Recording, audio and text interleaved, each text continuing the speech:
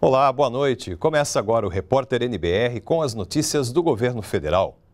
Hoje, dia 13 de julho, o Estatuto da Criança e do Adolescente completa 28 anos. O ECA foi criado para garantir que crianças e adolescentes tenham seus direitos respeitados.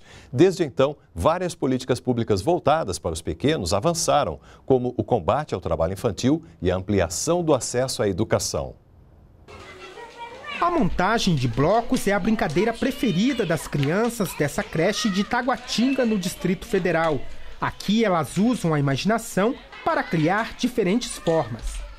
Cada uma tem de 1 a 3 anos e dão os primeiros passos na aprendizagem. Nesta fase, o que elas querem mesmo é diversão. Diz aí, Ana Beatriz, o que você mais gosta de fazer na creche? Brincar. O Heitor, de 3 anos, está aqui desde o ano passado. São 10 horas de atividades por dia, de segunda a sexta-feira. A instituição é mantida com dinheiro público e o Reginaldo, pai do Heitor, diz que não teria condições de pagar pelo serviço. Ele ressalta a importância da creche para o desenvolvimento da criança. Na creche, né, na escola, a criança consegue ter um desenvolvimento melhor, porque as tias eu acho que dão um pouco mais de coragem que os pais acabam não dando. E assim, ele vem apresentando cada vez mais um desenvolvimento agradável com relação à alimentação, com relação à postura. Então, isso para a gente está sendo muito gratificante porque realmente ele vem apresentando um desenvolvimento muito bom. Estar todos os dias em uma creche é um direito dessa criançada, garantido pelo Estatuto da Criança e do Adolescente, que completa 28 anos. O ECA incorporou os avanços da Convenção sobre Direitos das Crianças das Nações Unidas e abriu caminho para concretizar a proteção delas, como prevê a Constituição Federal.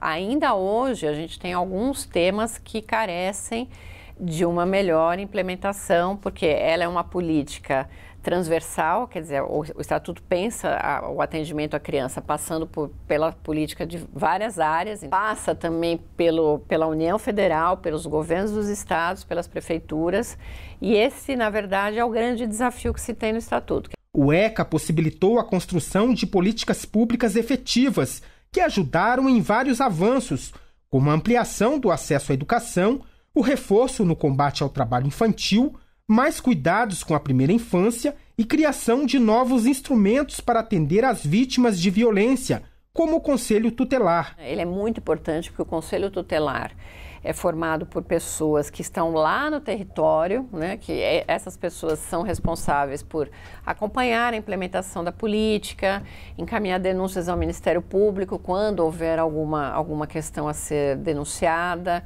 É, elas têm, elas podem é, intervir nas famílias quando existe questão de violência. É o mais próximo que a gente tem é, do território da criança e do adolescente para fazer valer os seus direitos. No Centro Educacional Infantil Sonho de Criança, são 68 funcionários que trabalham o dia inteiro para garantir a esses pequenos o direito de brincar e serem preparados para o futuro do nosso país. Não é só para deixar aqui e os pais têm, têm a consciência de trabalhar tranquilo e tal, mas sim o desenvolvimento dessa criança, cognitivo, psicológico e o desenvolvimento é, corporal dessa criança também maior integração entre as polícias de todo o país e um reforço no combate ao crime.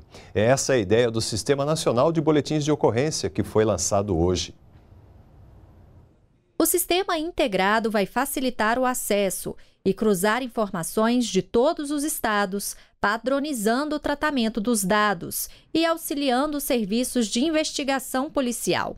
Com isso, mandados de prisão e informações sobre crimes passam a ser compartilhados nacionalmente. Esses BOs, eles eram realizados no âmbito do Estado. Agora nós estamos implantando um sistema que torna o BO nacional. O que quer dizer isso? Aqueles que estiverem no sistema, eles, ao, ao realizarem um BO, por exemplo, se ele bateu com um carro, teve uma vítima, sei lá, em Goiás, automaticamente, quando esse BO entra no sistema, você vai ter informação, ou mesmo durante a feitura do BO, você vai saber se aquela pessoa cometeu outro crime, se é procurado, se já cumpriu pena, se não cumpriu pena. Com investimentos de 230 milhões de reais, A expectativa é que o Sistema Nacional de Boletins de Ocorrência esteja 100% integrado entre as polícias de todo o país até 2019. Esse processo de integração ele começou em 2017, que começou a demanda aos estados. Então, é um processo em andamento, é um processo que ele vai levar algum tempo e conta com todo o apoio do Ministério para que esses estados contem com a tecnologia, contem com recursos para que possam equipar as respectivas delegacias, as respectivas unidades policiais para ter acesso a esse sistema. A integração dos boletins de ocorrência está prevista na lei que criou o Sistema Único de Segurança Pública, o SUSP, que entrou em vigor nesta quinta-feira. Ele vai permitir um salto em termos de produtividade, um enorme salto em termos de produtividade no combate ao crime. E vai também permitir, é um passo inicial para a integração das nossas polícias, o que é decisivo, o que é fundamental no combate ao crime. Para melhorar o fluxo de atendimento nas agências, o INSS passa a adotar a partir de 16 de julho um novo sistema para consultas ao extrato previdenciário do trabalhador. O segurado pode obter o documento pela internet ou fazer o agendamento para buscar o extrato em uma unidade de atendimento do INSS. A partir de 16 de julho, o CNIS, extrato com todas as informações trabalhistas e previdenciárias do cidadão, só poderá ser acessado por meio do meu INSS ou por agendamento. O objetivo é melhorar o fluxo de atendimento em todas as agências do INSS. Ela visa melhorar a, a vida do cidadão, porque com agendamento fica mais prático para ele. Ele já tem data, hora marcada, vai na agência e tira. Não conseguindo na agência, que é algo praticamente impossível, ele consegue tirar também pelo meu INSS, na internet ou no aplicativo de celular.